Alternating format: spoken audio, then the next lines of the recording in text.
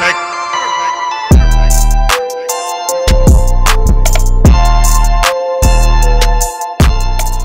good everybody, it's your boy Nat and we're back with another video the channel today guys.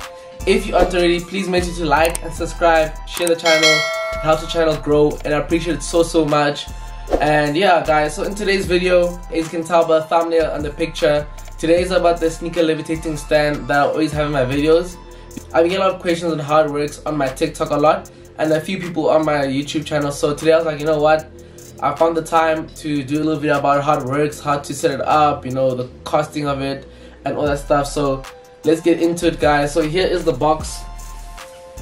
By the way guys, I saw uh, these sneaker levitating stands. If you guys want them, please make sure to use the link in my bio, not my bio, the link in the video down below where it has a link to my sneaker page where uh, you can buy one of these guys. But this is how the ones I saw look like. They come. As you can see, it says magnetic uh, levitating display. Oh, I say stand, but it says display. It comes in a white box like this. It's a really, like, honestly, a really nice box. You know, it's quite heavy. And this is how it opens. Opens up in the front like this. So let's start off.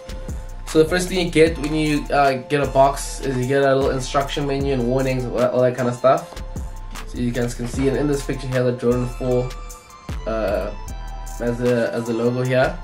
So that's what the first thing you get when you get the box. Move this aside. So and then you get three different things. So you get a pink bag like this, and in the bag you get a little magnetic weights, which I'll explain a little bit further. But basically, these are used to uh, counteract the weight of the shoe if the shoe is too light. So to bring like the weight, like to make sure the shoe is balanced, you need to use magnets, which are weights, just to make the shoe a bit heavier so it can uh, float nicely. So that's the first thing you get. And the second thing you get is obviously a charger. You get a charger in here. Let me take it out for you. You get a little charger in this box. And again, by the way, if this box doesn't look brand new, it's because this is my levitating stand that I always have in the videos, as you guys seen before. So obviously things have been opened. I'm just I just really put everything together to show you how they look. So you get a little charger like that. It goes here, and then over here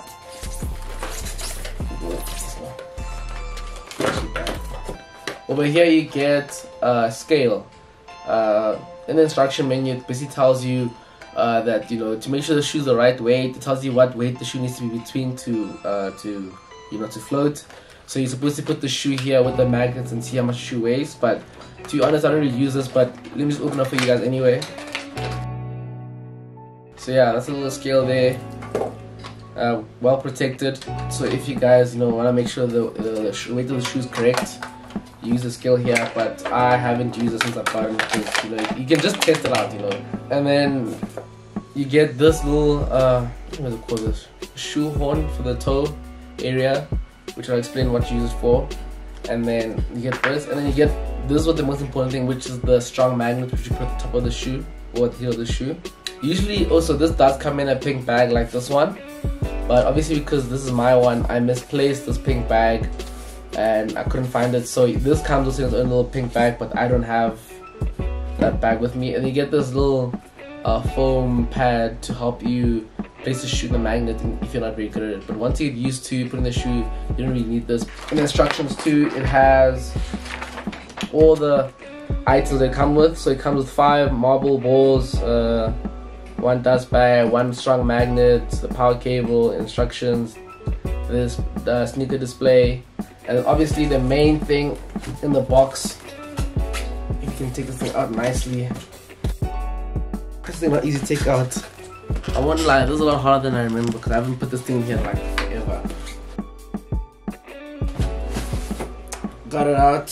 So here it is the levitating display this is how it comes with you get two options for this thing you get a white one which is what I got here and you get a black one well when it's black the the outside part here is black but here it's still the same color. But so I got the white one because I think it just matches better with my room also because my room is mainly white. So I got this one. And then yeah, so let's get it plugged up and ready to go. And for the shoe that I'm using in today's demonstration is the Jordan 1 High True Blue, which I made a video uh, two videos ago. And for once I get to use the pop-up link, so use the pop-up link, I think it's this side of the video. Click that to get a review on these Jordan 1 uh, High True Blues. So yeah, these are the shoes we're using today in the demonstration. So let me get them out for you. So the first thing you want to do is the uh, levitating stand is to pick a shoe. So I'm gonna pick the doesn't really make a difference. So I'm just gonna take the right shoe. Actually, no, let me do the left. You take out the stuffing on the inside of the shoe, and then this way this little thing comes in because you put that inside the shoe for the toe area. Okay. Then you take the magnet which I left back in the box. You take the magnet, you put that here. Remember, also make sure to keep this away from electronics I actually broke a computer of mine because the magnet somehow like touched the computer. This is a very strong magnet. So you don't want this near like any electronic or any like magnetic material that you don't want it to stick to. And then you also get out the weights. So the first thing you do is, well I already know what I need to put. So I usually put like three or two uh, weights for my shoes because my shoe size is size 7. So usually put two, start with two, just put this back in here. See, as you can see, guy's on has own little light, which is a really nice display piece. The reason why I got it. So now that it's on, the the the, the shoe tree things that is in. What do they even call it actually? Yeah, it's called shoe tree. Oh yeah, so it's actually called shoe tree. So the shoe tree thing is inside, and now that it's on, there's two magnets inside. You put the strong magnet at the top of the shoe, which is the heel, and then right over here, you can't really see it, but there's a little like magnet here. You can see it. It's, it's, it's behind this plastic. We can see it from the naked eye. And then you put your fingers there, and you put other two fingers on top. That's how I do it. And then you do that. You can you'll feel the pull. You feel the pull, and you slowly let it out. Slowly. And there you go, guys. And you obviously just put on your hand like that, and it'll spin on for hours and hours. So yeah, there you go, guys. That's how it works. It's literally not magic. It literally just works on magnets as I was saying before, magnet balls are used to uh, as a weight because some shoes are heavier than others or lighter. So you need to counteract the pulling strength with the with the weights. So that's what that is for. And then let me take out this little uh, foam pad. So basically, this is for people who aren't very good at using their hands. What you're supposed to do is you take the weight and you're supposed to use this, this foam pad well, I use this side. I don't know why.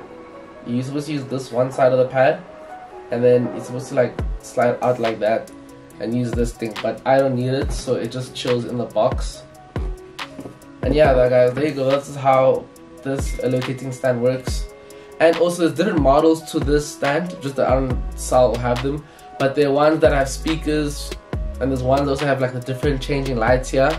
But I didn't get them because I don't think it's gonna be worth it. But yeah. Uh, so this one that I have, it just has the, the magnet and the light. And it, it really does look nice, especially if your room doesn't have like a light in here at night. This thing looks crazy. It's a really cool display piece to have.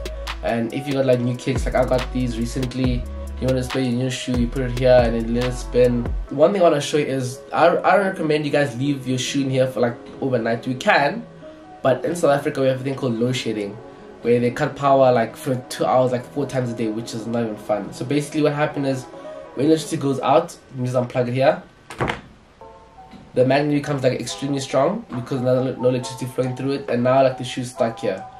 And it's not bad, it's not gonna damage your shoe, but I just wouldn't recommend it. So then, now you see when electricity comes back, you have to manually take it out again, and then, as I was saying, when electricity comes back, you have to take it out and then manually put it back again. Oops.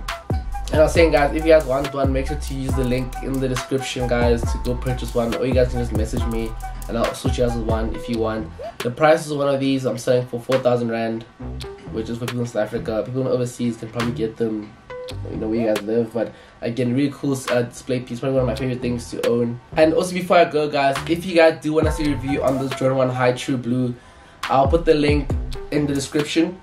And also, I'll use a pop up link. I think it's on this side, if I'm not mistaken for the link to the video so you should check it out guys. So I hope you guys enjoyed this video today this little tutorial on how to operate and how this thing works. If you guys did please make sure to like and subscribe and i'll catch you guys in the next video